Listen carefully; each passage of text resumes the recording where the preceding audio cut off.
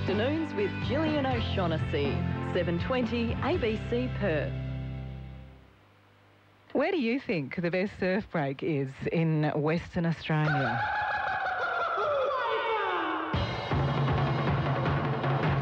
What's it like to surf it?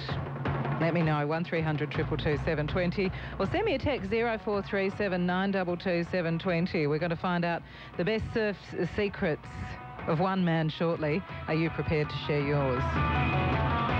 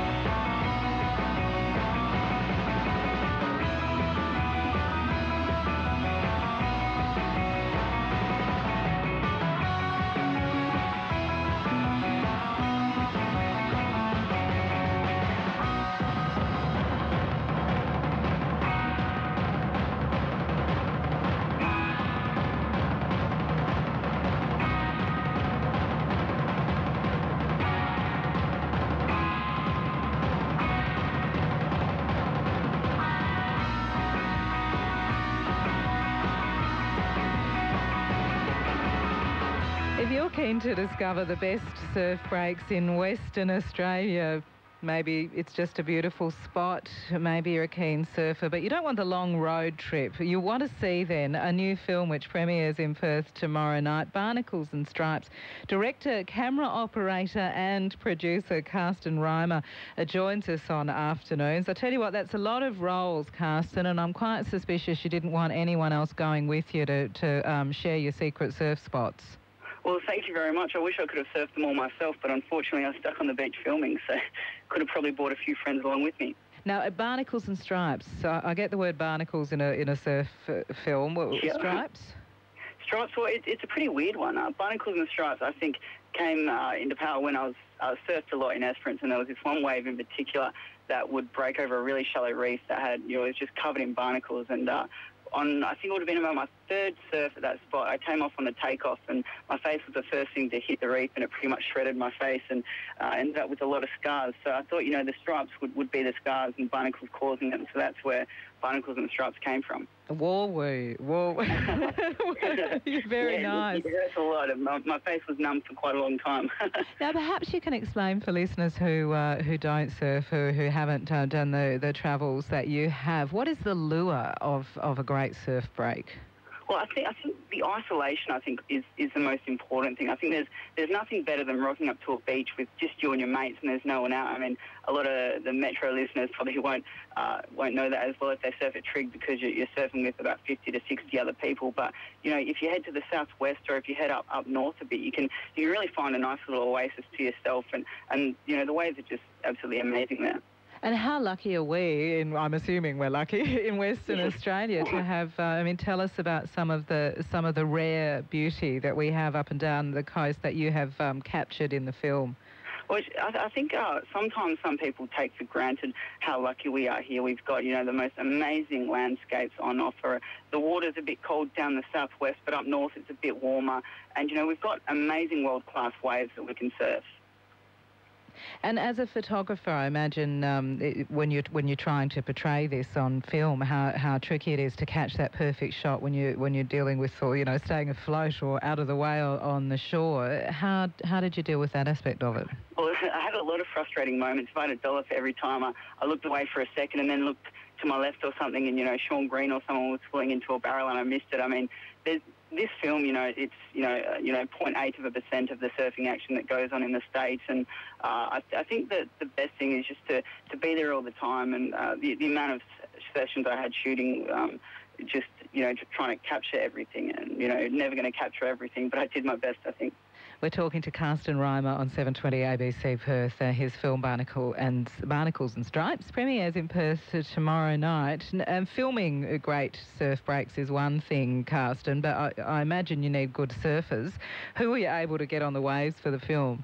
Well, I was very lucky. I mean, every, every, I think I think the, the level of surfing in this state is amazing. I mean, it really is world class. And obviously, we've got the local hero Taj Burrow, who is one of the best surfers in the world, and he grew up surfing in the southwest. And in the film, I have an interview with him where, where he does say that you know the surfing in the southwest did contribute to his success on the world tour. There's uh, lots of listeners that are uh, texting 0437 922 720 or calling in, Carsten, uh, to tell you about their best uh, surf breaks. So, uh, GM, I think, aged 11, says Ocean Beach in Denmark. I'm not sure if you if you got there, Carsten. Or Ken said, uh, is it Cobber or Quobba is the best? These these might Quobba. talk. Cobber? Up? It may well be. Kev hasn't, hasn't said. A, a caller would like to know if Carsten, if you're ever worried about sharks or whether you've ever filmed any.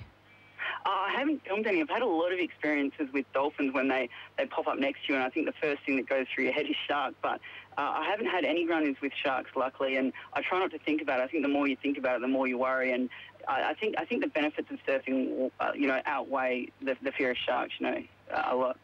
And you've also worked on uh, the big production of Drift, I understand. What was that like? Uh, it was amazing. I, remember I got the call about a, a week into the shoot, and it was a dream come true because the cinematographer Rick Rifici was working on it, and he's you know one of the world's best, and it was such an amazing experience working with him, and, and you know working alongside stars like Sam Worthington and and uh, Xavier Samuels was amazing, um, and I actually met quite a lot of the surfers uh, from Barnacles and Stripes on Drift, so people like Sean Green, who was the main uh, stunt double for Xavier Samuels, and it was just such a dream come true to you know, spend every day working on the beach filming, you know, the best surfing of that region.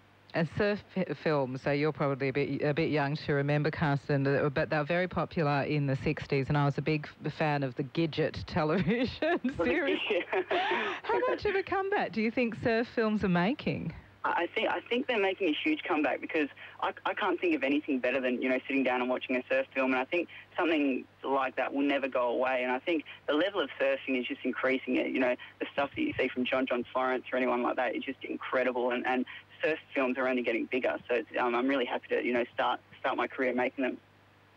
And uh, you're donating profits from the film to charity. Can I just ask you, ask you? Um, it's it's for the Royal Flying Doctors, which is just such a fantastic cause. So what is, yeah. what's your uh, connection?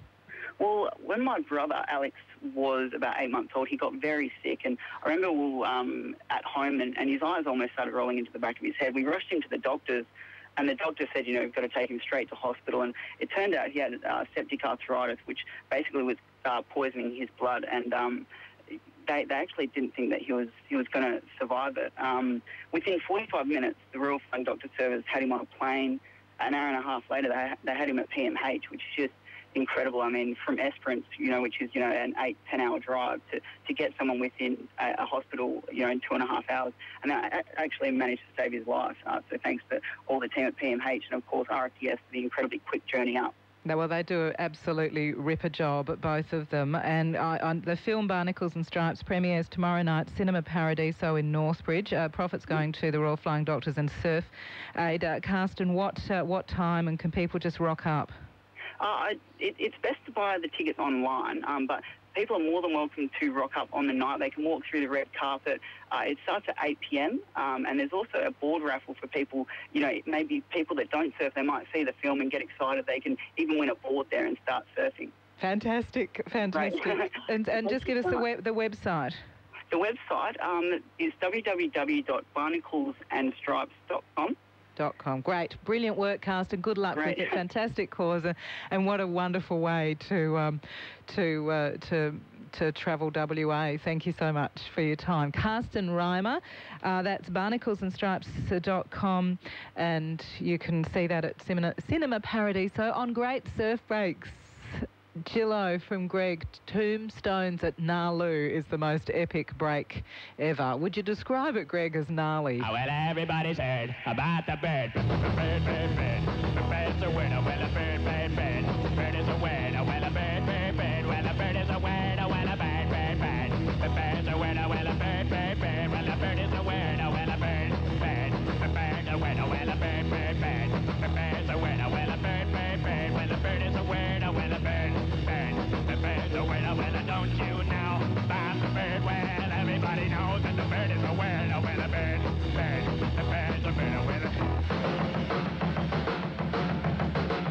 That's the Trashmen. Surfing Bird.